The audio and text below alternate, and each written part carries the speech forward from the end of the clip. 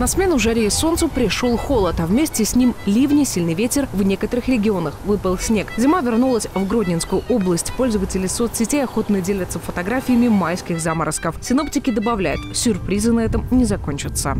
20 населенных пунктов пострадали в Грузии из-за ливней, которые не прекращались два дня. В некоторых районах осадки привели к оползням. В горах идет снег, а на море не стихает четырехбальный шторм. В Китае пылает лес. В схватку с природной стихией вступили тысячи людей и спецтехники. Руководство провинции Юньнань решило эвакуировать жителей из ближайших сел. Дома покинули более 11 тысяч человек. Май в оранжевом цвете. В эти дни спасатели рекомендуют быть осторожными. По возможности остаться дома, обходить старые здания, а также парковать автомобили на расстоянии от деревьев и линии электропередач. Сегодня ночью в Бобруйске ожидаются заморозки до минус 4, поэтому синоптики объявили красный уровень опасности. В среду будет облачно, без осадков, ветер юго-западный порывистый. Температура воздуха днем 11-13 со знаком плюс. Кристина Ильянс, Павел Зуев, Бобруйск 360.